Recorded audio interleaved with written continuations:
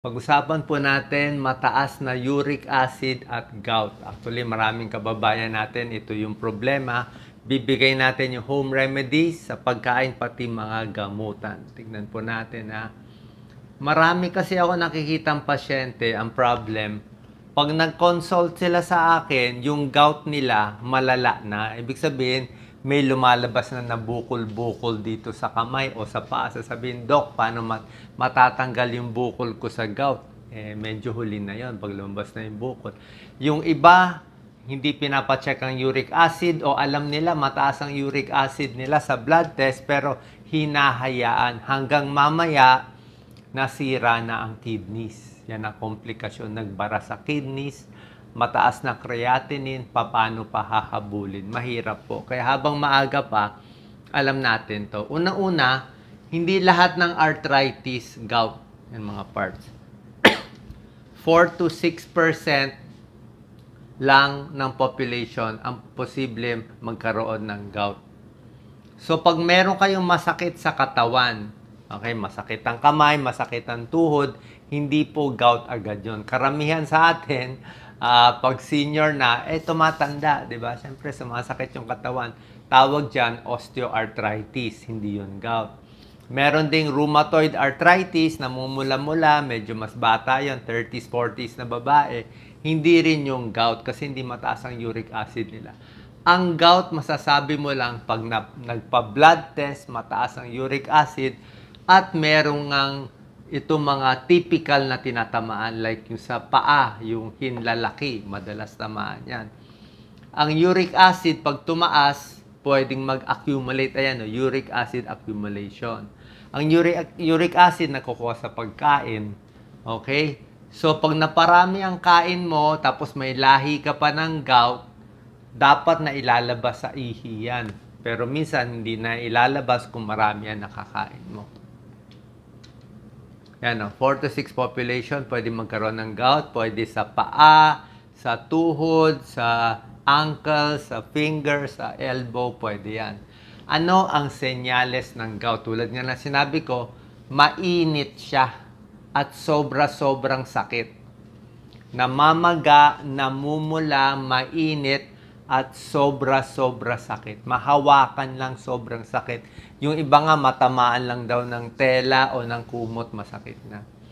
Ano dahilan? Pwedeng namamana, pwedeng katabaan, overweight, and to mga risk factors, overweight, lagi nakaupo, mataas, isip na isip ng iba, gout, 'di ba? Mga laman loob lang, pero hindi lang laman loob, ah, mataas sa sugar at matatamis sugar matatamis, masama sa gout, puro kanin, high carbs, alcohol, nakakakos din ng gout. Okay? Pati medical treatment, tuturo ko mamaya. Yan. So, bago ko bigay yung mga home remedies, isure ko muna itong mga gamutan. Kasi mahalaga po yung gamutan eh. Yung home remedies natin, may tulong konti sa gout. Pero karamihan ng may gout, kailangan pa rin ng check-up at gamot. Yan yung malungkot dito. Kahit di ka na kumain ng laman loob at seafood, tataas pa rin uric acid mo. Kasi nga, parang nasa lahi na yun eh, nasa dugo na. So, basic labs, uric acid level, dapat tama lang yung level, chinecheck. Check din kung may diabetes. Kung may diabetes kayo, mas mataas rin yung risk for gout. May stages ang gout merong wala pang sintomas at ayan, merong merong gout na wala pa nararamdaman, blood test lang mataas na uric acid. Yun dapat bantayan na. Yun ang gusto natin hulihin.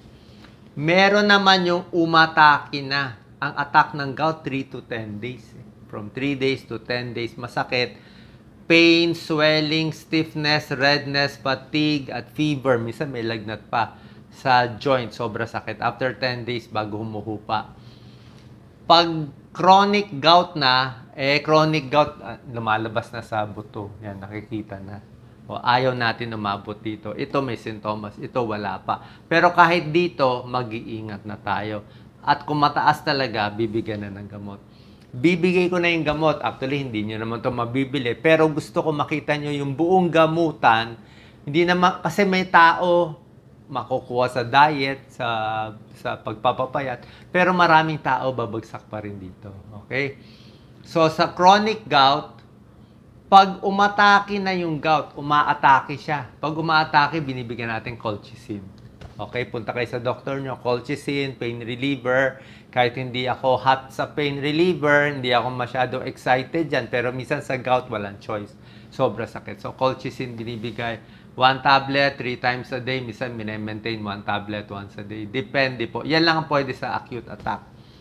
Pag humupa na, kumalma na yung gout, hindi na masakit, doon ka na pwede mag-maintenance. Dalawa usually option ngayon. Merong mas mura na mas lumang gamot. Allopurinol. Ganito pagbigay. 100 mg muna, tapos tinataas ng 300 mg.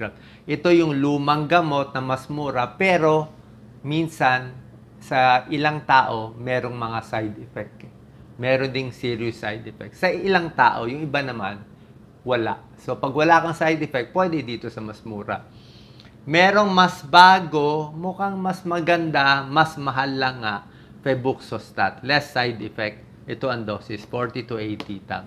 So, depende sa doktor nyo kung ano pipiliin. Usually, maintenance para bumaba yung uric acid. Kasi pag mataas ang uric acid, uh, ibig sabihin, nagbubuo yung crystals, baka magbara sa kidney, mag-kidney failure, mag-dialysis. Diba? Biglang may mangyari sa buhay nyo. Hindi na natin mahabol. Diba? Gout lang, magagamot sana eh. Diba? Ito yung mga sayang na buhay, na mabubuhay naman kung nakinig lang dito sa video natin. Kung nagpa-check up sa doktor, eh takot naman magpa-check up sa doktor. So dito muna sa video. Pag na-convince ko kayo, doon kayo magpapa-check up. Sa rheumatologist, hanap kayo rheumatologist. Mas gusto ko sakto na sa kanya para expert siya.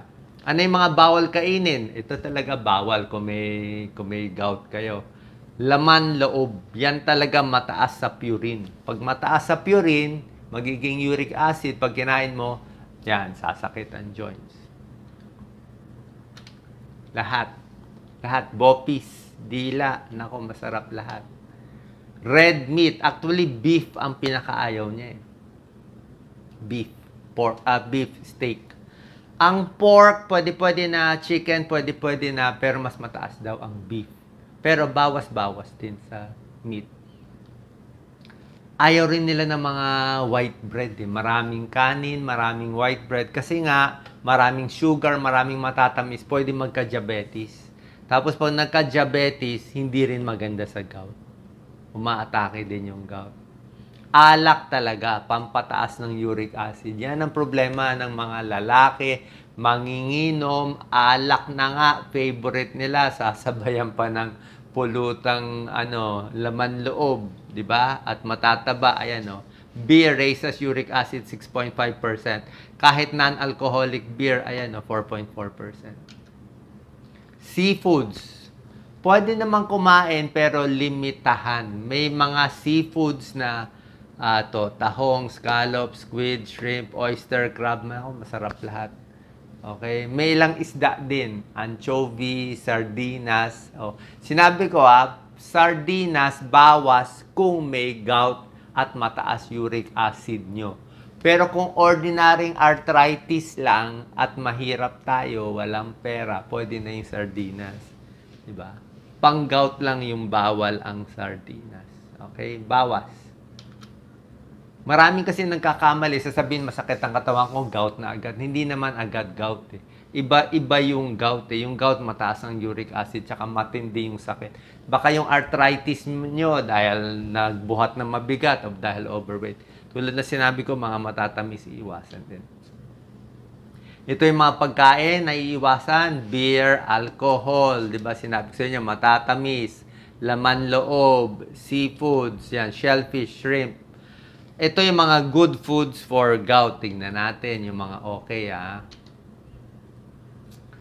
Ang papakita natin ngayon, low purine diet, 'di ba? Ano maganda sa low purine diet? Nabababa ang uric acid, bababa ang timbang mo, mababawasan ng gamot mo, pero baka may gamot pa rin, at least mababawasan yung dosis. Pero tulad na sinasabi ko, kahit ilimit mo to, malaking tulong, pero minsan, hindi pa rin totally gagaling. Okay? I-check nyo pa rin uric acid nyo. Let's say 10, sobra taas. Dapat mga 6 lang. So, pag bumaba lang ng 9 at 8 sa diet, eh, kailangan nyo dagdagan ng gamot konti. Di ba? May tulong pa rin to. Di ba? Para hindi masyado mataas ang dose ng gamot nyo, less side effect. Hindi siya cure. At minsan, parang hirap ka kumain kasi nga konti lang ang allowed.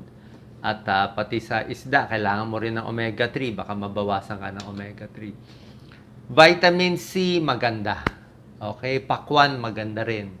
Oh, citrus fruits, lahat yan. Medyo napapababa niya ang uric acid level, itong vitamin C. Mas maganda sa prutas. Pwede mag, mag uh, mag uh, vitamins na tableta pero mas maganda sa prutas kasi marami siyang antioxidant. Low fat yogurt, gatas, low fat milk pwede din. Okay? Kasi may protein siya eh. Medyo nabawasan ka ng protein, di ba? Kasi sa karne, sabi nga natin, yung protein nun, mataas uric acid. Ito at least protein, hindi mataas uric acid. Hindi mataas ang purines. Avocado, maraming antioxidant, maraming vitamin E, maraming healthy fats, at anti-inflammatory. Cherries, wala tayong cherry eh. Pero napakaganda ko na sa ibang bansa. Anthocyanins, anti-inflammatory. Beans, okay? Sinasabi ng rheumatologist, hindi bawal ang monggo sa gout at mga beans at yung halo-halo. Halo-halo yung matamis ang iniiwasan. Pero yung beans kasi, protein siya. Tsaka vegetable protein siya, hindi siya ganun kasama sa gout. Pwede siya. Ang ayaw nga natin, karne, laman loob, alak, at matatamis. Pero yung beans, good source of protein. Hindi rin tayo pwede walang protein. Kaya pwede ang beans. Lean protein, pwede yung ano lang, chicken, fish, at yung laman at limited. Tubig napakahalaga. Ito yung nakakalimutan ng maraming mataas ang uric acid, hindi uminom ng tubig. Ang recommended nga nila, 3 litro eh. 3 litro. 12 glasses. Pag acute attack nga, yung iba sabi hanggang 4 na litro. Pero sa atin, 3 litro pwede na. 3 liters is 12 glasses of water. Mas, ma- tulad na sinabi ko, ang uric acid lumalabas sa ihi. Kaya mas marami kang iinumin na tubig, bababa din yung uric acid mo. Yan, tubig. Kape rin daw pwede, pero hindi mo naman pwede damihan yung kape kasi magpapalpitate ka rin. So, tubig napakaganda. Pwedeng lemon water, calamansi water, di ba? Vitamin C, maganda rin. Well hydrated para sa gout. Siyempre, pagdating sa carbohydrates, mag gusto nila high fiber. Gulay, brown rice, wheat bread, konti, mas gusto nila yan. Complex carbohydrates. Mani, pwede rin naman. Yan. Tapos yung mga prutas na hindi ganun katatamis.